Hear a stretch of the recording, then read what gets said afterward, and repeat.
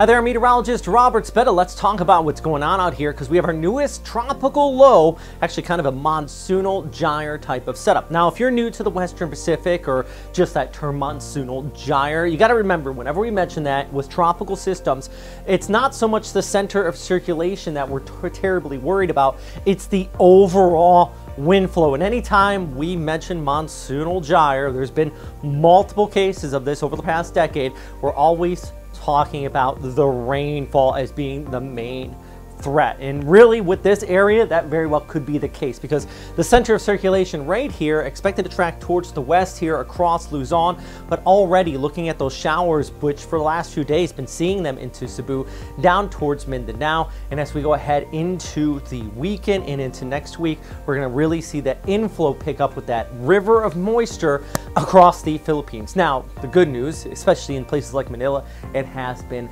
hot recently. Temperatures into the 40s. That will cool it off and also bring some much needed rainfall to some of the reservoirs and dams out here. But on the flip side of things, too much rain in a short period of time really can cause that threat of flooding and landslides. So here's a look ahead into Thursday. Our low, on Wednesday through Thursday, our low tracks right over Luzon, bringing much needed rainfall to places like the Cagayan Valley, but too much as I mentioned, can cause problems. But then you look back towards the west, it's that river of moisture around this broad circulation here that's going to increase showers and windy conditions along the west coast for western Palawan, Mindoro, southwestern Luzon, including Metro Manila, all the way down towards maybe even to Cebu. The Mindanao, you're actually probably going to get the break for most of this, but the northern half of the Philippines, boy, that rain is going to kick up. And is this to even stretch heading into the weekend?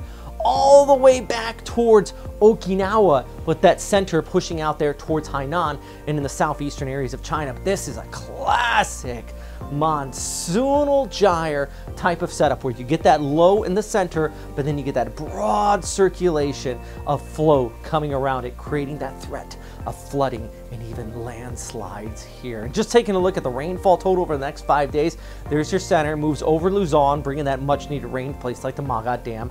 But then look at the moisture flow that sets up. Every area in here indicates over 50 millimeters in red, but I think some areas could see as much as three to 400 millimeters before all this is said and done.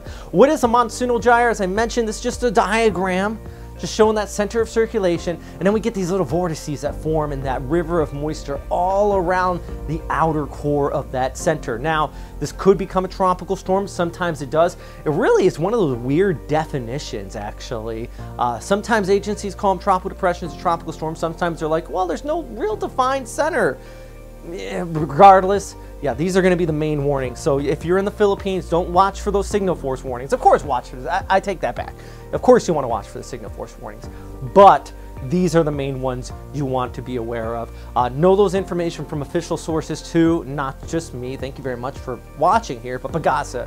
And uh, prepare to evacuate if needed, especially if you're in a flood prone area as this storm does start to develop. Looking at the high resolution, our center there, but watch back towards Visayas. So we got Mindoro, uh, back towards places like Iloilo, even all the way back towards uh, yeah, northern areas of Cebu, but especially Palawan.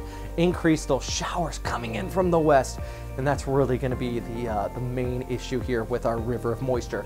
The good news, yeah, it's going to recharge the water supply out there for some of those dams that have been running low, but definitely is going to be causing that threat of some flooding as well. All right, so here on our Thursday, needless to say, I just said it many, many times. Cebu, showers there for you, even over towards Tacloban, Legazpi, 31 degrees, Roxas at 29. Heavier rain the further north we go, though, out here towards western Manila. Look at the temperature, only getting up to 27. So the increase in the cloud cover is going to cool things off a bit.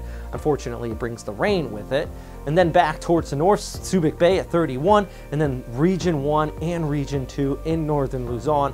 It's going to get all in the rain. Look at Ilagan, actually, even into the 40s recently, only showing a high of 28 degrees there. All right, look at the hour by hour, not just isolated afternoon into Manila, but here on our Wednesday, it's pretty much just going to be scattered showers through the evening, and then scattered showers all the way through the day as well on Thursday. Anyways, big thanks for um, Metro Weather, Weatherscape. That is the graphics you see behind me. If you like them, you can support this channel by clicking the join button on our YouTube page or visiting our Patreon in the link down below. Also, our big goal is to get up to 100,000 subscribers, which hopefully one day we get there so we can get this channel verified. So if you hit that subscribe button, you'll be going a long way to helping us out. Big thanks for everybody on Patreon. Thanks for watching the video all the way to the end here. We still have the outro, so as always, stay safe out there. Thanks for watching.